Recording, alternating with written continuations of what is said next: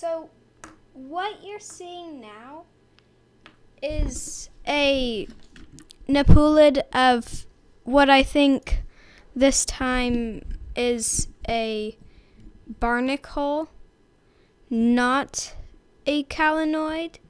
I need to check this.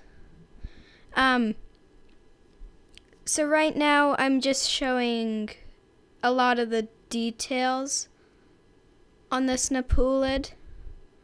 I thought it was quite pretty, so now you can see it under the 10 times objective. Now you can see the details on its stomach and eyes. Now zooming out, you can see this arrow worm. Its Latin name is Chaetognath. And around this, you can see some um, Coscinodiscus. And what you see there, I think, is the exoskeleton of some sort of amphipod, which would explain why you can't see much in the Chaetognaths um, of what they've eaten, is what I mean. And everything else, of course, would be digestive, digested by some kind of fluid. So now you can see it under the 40 times objective in dark field. I just switched to 10 times and now you're in the 4 times objective again.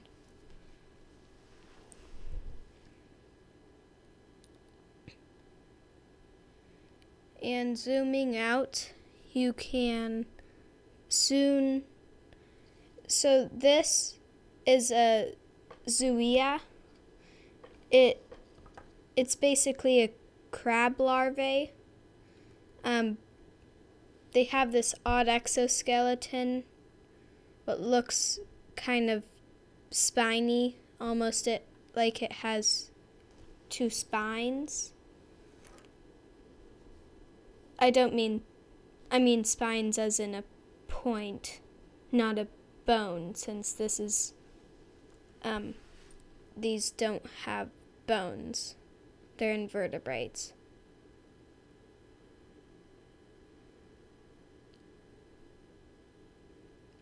Now I accidentally switched the color temperature, but I got it to go back.